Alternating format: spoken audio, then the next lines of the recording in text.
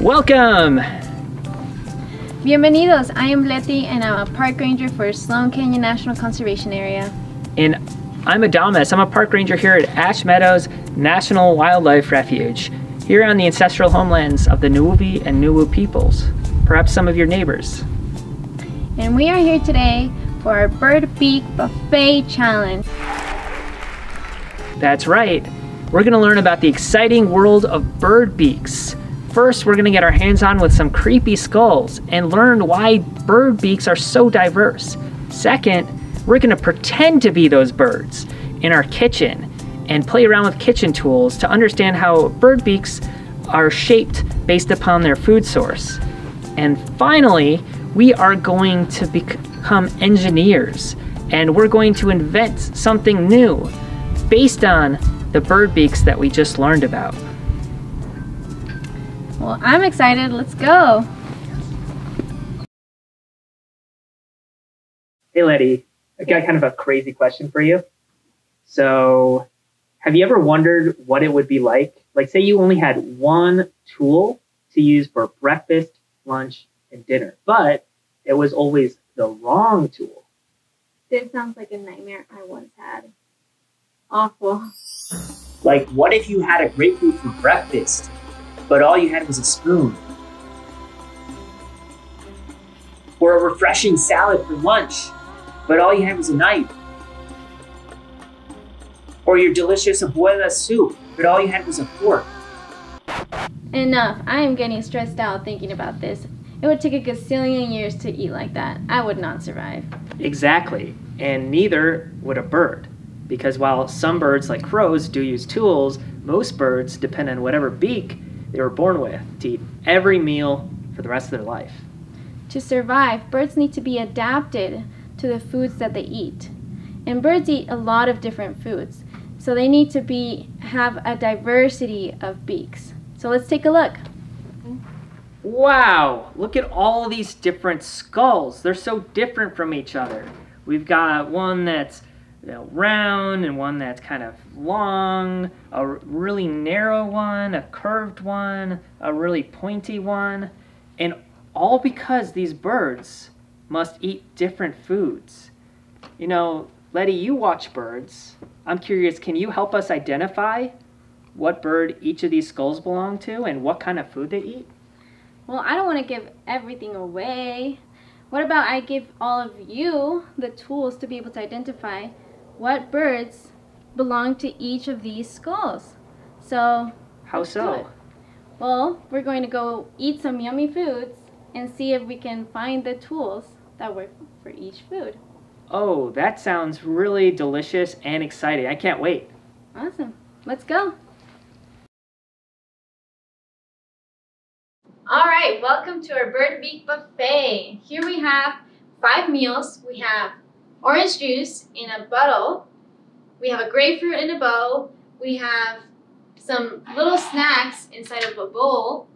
We have apples in water and some little leafy vegetables inside of water. And then we also have five tools and five or so skulls. So we want to see which of these tools match with which of these foods. And then we're going to make an educated guess and figure out which of these skulls match one of these combinations. So let's give it a try. Yeah, I can't wait. This all looks so delicious, and I can't wait to figure out what bird these are based on the tools and the foods they match with. So it looks like we've got our first three meals uh, are representing like desert, like Mojave Desert shrubland, and then we have these two that represent more like wetlands, like some of them that we have here at Ash Meadows. Um, and it looks like we've got five different tools: a tweezer, scissors, skewers, a straw, and tongs. Hmm. Let's start with this one. This is juice that's supposed to represent nectar in a flower. Which tool would you use? Hmm? Yeah. Yeah. Yeah. Mm. Mm. Uh, it takes way too long. What about Mmm. That works. That really hit the spot. Now I'm not so angry anymore. Is that what y'all chose? Because that's great. So the straw works with the nectar. So which of these schools do you think would match with this combination? Is it this one? Oh, yes. That's right. So this skull is the one that we match with this combination. So we know the skull, we know the meal, and the tool. Which bird do you think it matches? What is this species? Teeny tiny skull that has a straw like beak that would drink nectar. Hmm.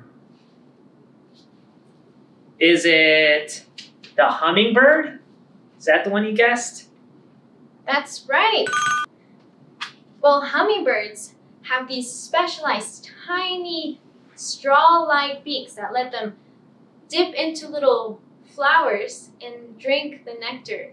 And these little birds are extraordinary because they're so tiny, yet they can survive so well in all the environments out here. And they you will find them out in all the Mojave Desert. So what exciting, what an exciting find. That's cool. Every time I use a straw now, Lety, I'm going to remember you and the hummingbird and how they can pollinate the flowers by drinking these delicious sweet things.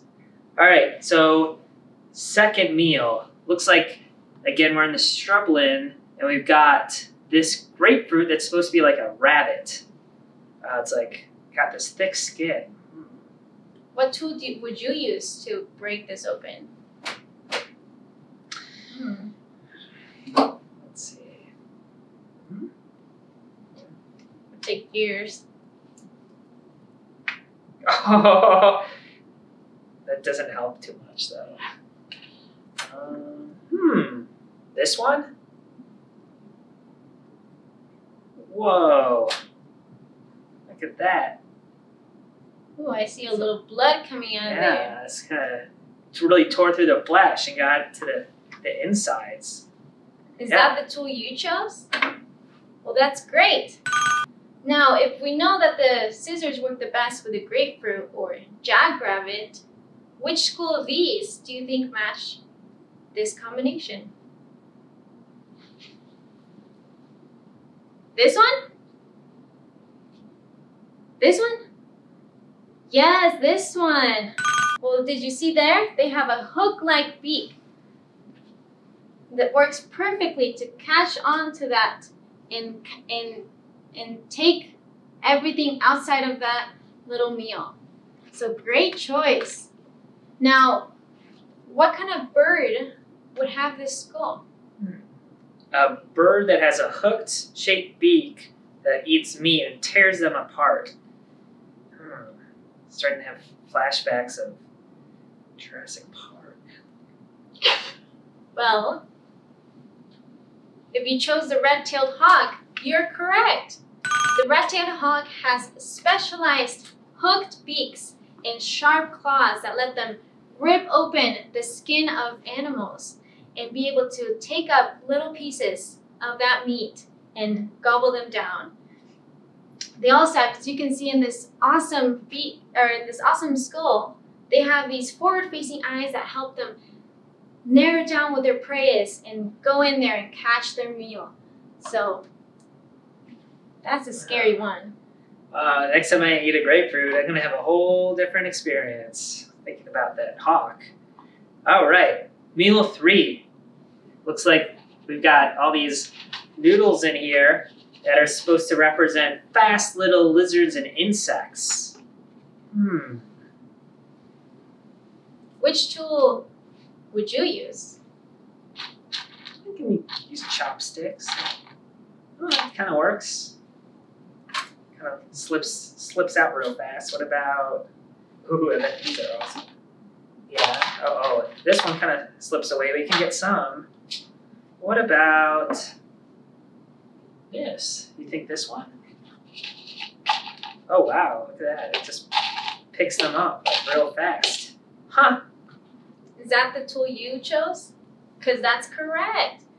So if we have this combination here, the the tweezers and the little snacks, which of these beaks would you think would work best for this meal?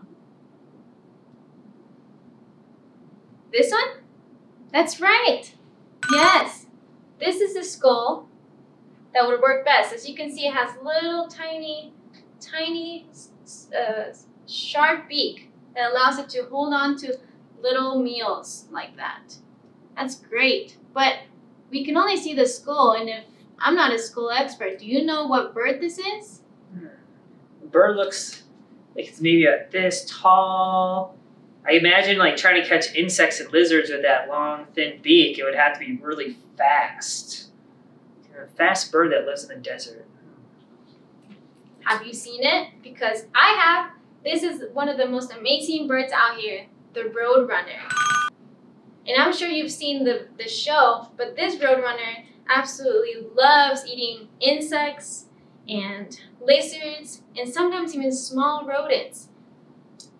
And they use this tiny specialized beak to help them catch those things. How amazing is that? Wow. Now whenever I like take out a splinter from my finger, I'm gonna think beep beep.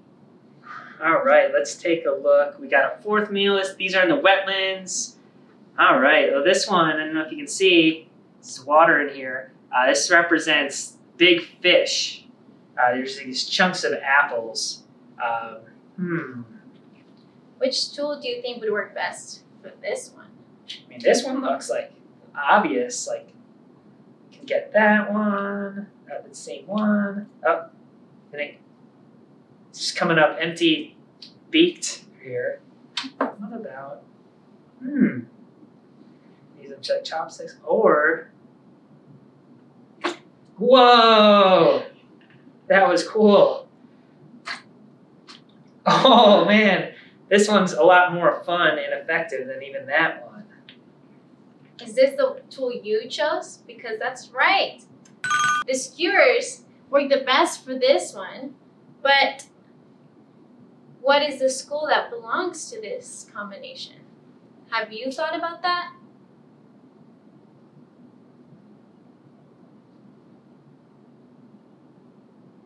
This one? Great!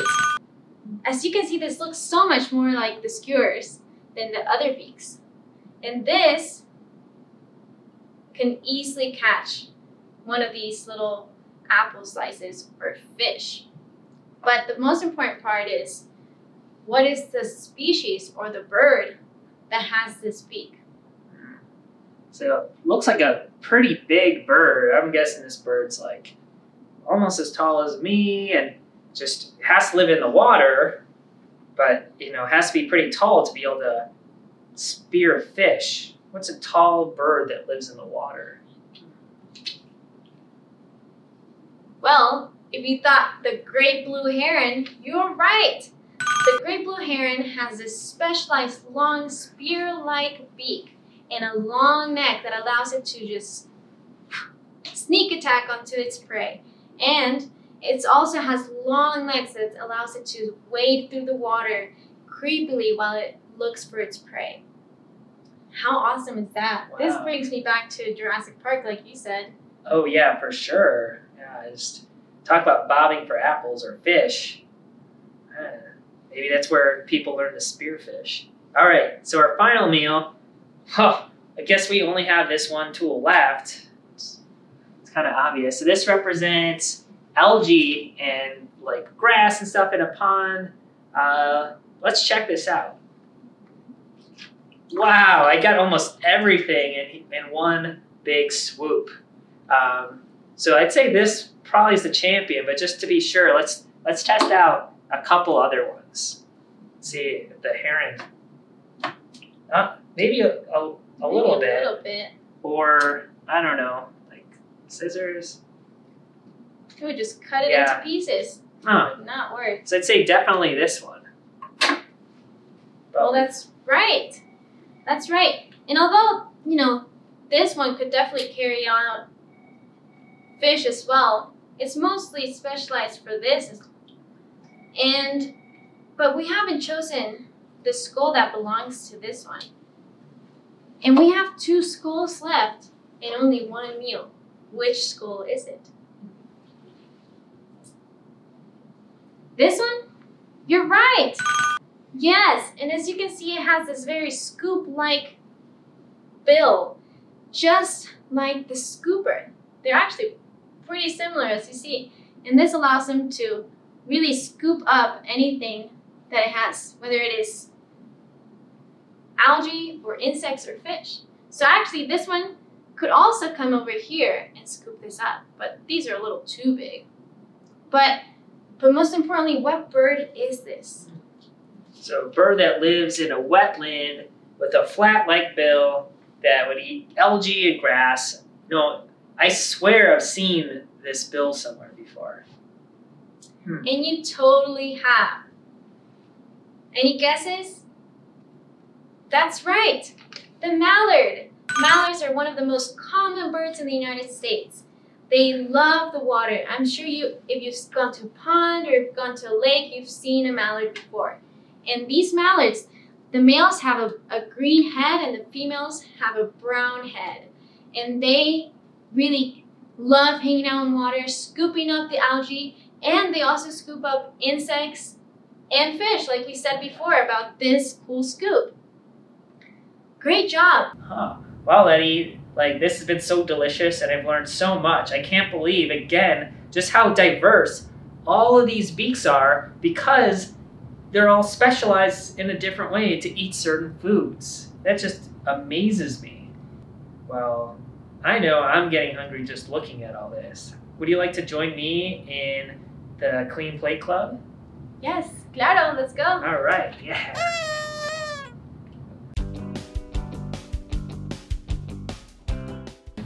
Lety, we've learned so much from you today. I'm so happy we could join you and you showed us your bird beak buffet. Like just to review, we learned about how birds have a variety of different beaks because of the variety of different foods that they need to eat. And two, how those bird beaks are like survival tools that allow birds to eat specific foods for the purpose of survival in their particular environments. You know what? I'm so fascinated with birds and their adaptations now. I'd love to learn more. Is there something else we can do? Well, if you all of you are interested, you should come bird watching or birding with me out in the Mojave Desert. Check out our website for other videos called the Bird and Binoculars video, and you'll be able to learn all about the birds. Oh, that's so awesome. And you know what? I just came up with another idea. Ooh, what is it? Remember that weird question I asked you before about what would you do if you only had one tool to eat all of your meals with, but it was always the wrong one? Uh, please don't remind me. Well, Lety, we're humans. That means we can invent our own tools using the knowledge we now have about bird beaks and their adaptations. That's true. Well, let's put on our engineering hats and get out there and find some cool tools for our favorite foods. So for this activity, you can print out our worksheet or make your own. So for the first part, you have brainstorming your beak. You have three columns with five rows. In each row, you're going to write down your favorite foods. Then you're going to think of a bird. You can do some research, a bird that can eat those kind of foods. And finally, in the third column, you're going to draw the beak of that bird. What kind of beak do they need? So for instance, I love pizza. So do ravens. I've seen them eating it. They can tear it apart with that beak. So I'm going to draw that picture. Uh, for crushing nuts, the grosbeak's a great example, and they've got that thick beak. And now what I'm going to do is combine all five of those beaks into one to show what kind of bird I would need to be to be able to eat all my favorite foods. And then the fun part, color that beak in. Uh, and then the smart part, you're going to label the beak and show what kind of feature it has that helps it eat those foods. Like, oh, it's sharp for ripping apart pizza, or it's thick for crushing nuts. And finally, you're going to come up with a really cool patent name, like curry nutcracker. Well, that's hilarious. I'm excited to see all of yours, so make sure to send all your great inventions our way to Sloan or Ash Meadows so we can send you a surprise. Y'all come out to Ash Meadows and say hello. And to Sloan Canyon. Hasta, Hasta luego. luego.